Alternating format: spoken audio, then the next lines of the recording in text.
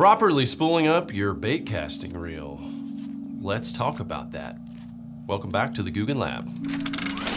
So you got yourself a bait casting reel. You wanna make sure to get your line on there nice, straight, and tight so that when you're going bass fishing, you're not getting any tangles in it. Well, we're gonna show you how to do that here. Uh, get your favorite line. All you're gonna need is uh, a buddy or something to hold your spool upright and straight.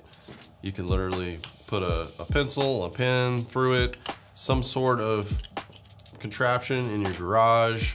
Um, just come up with something to hold that spool.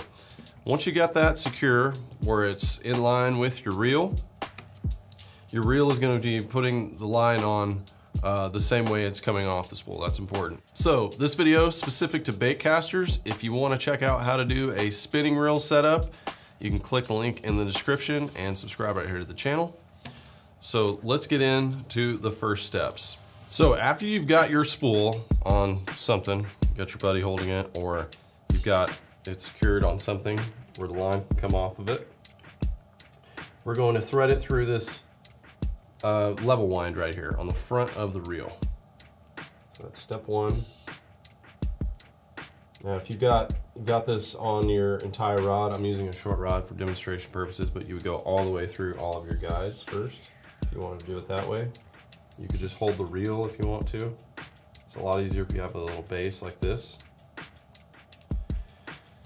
Okay, so now you're gonna need to thread your line around the spool and every reel is different. So you're gonna have to kind of finagle that through.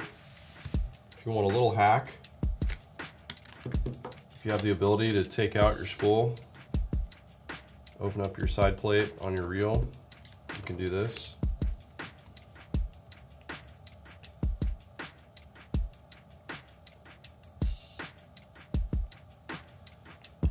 So I just made a little loop there and I'm putting my spool back in, but you could go around the back side of the reel. Main goal, you want to get around that spool. Then you're going to come back through the level wind.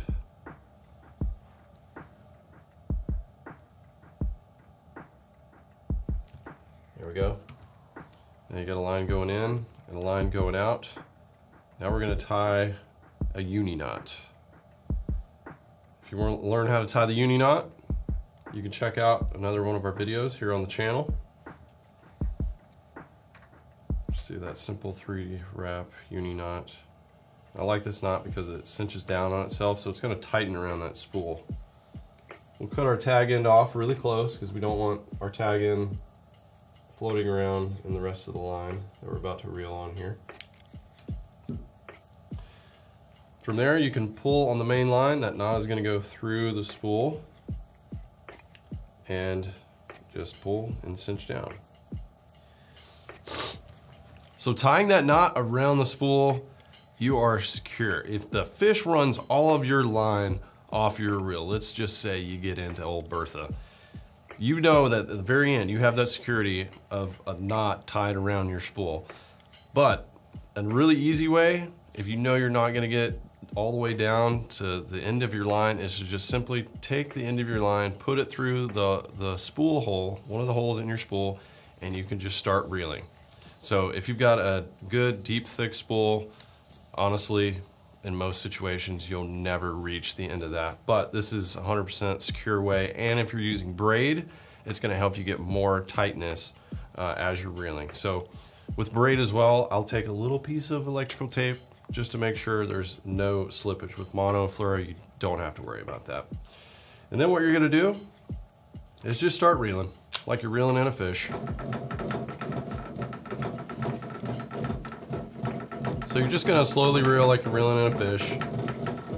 And something that you can do to make sure that your line is is going level onto your reel is, is watch it and you can move your fingers.